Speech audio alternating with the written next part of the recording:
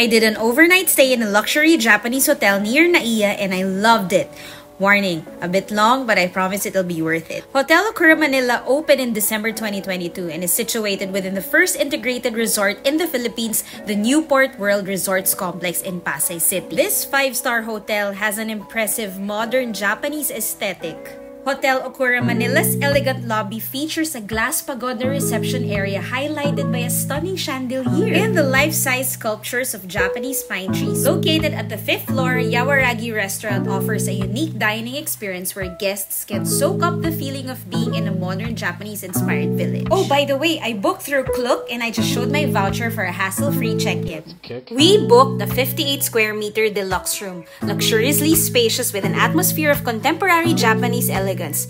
You will notice the elegant furnishings in this rotating smart TV where you can watch from your bed or from the sofa. In this fancy hotel room, just press the curtain control button on the wall and the drapes elegantly part to reveal a stunning city view. From our room, you can see Manila Marriott, Shrine of St. Therese of the Child Jesus, and the airport. In this room, you'll find a kettle ready for your hot water or tea, cups for your coffee, and an espresso machine with four coffee pods for free. Wine glasses are also available for a relaxing evening. And as a warm welcome, there are chocolates waiting for you. They also pampered us with thoughtful amenities like air purifier and this super comfortable king-size bed. This bathroom treats you like royalty. There are cozy bathrobes to wear, a big bathtub, and a cool rainfall shower that you can use separately. The toilet is extra fancy.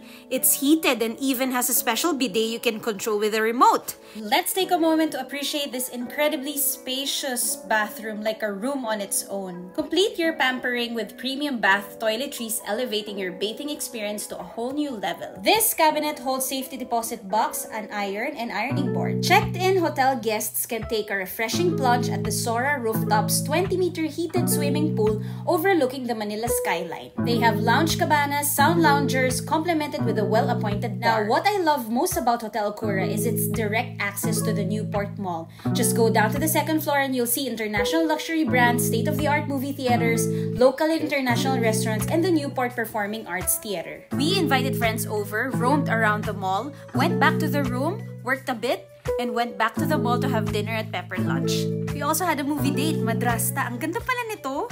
Went on to pampering ourselves with a relaxing hot bath.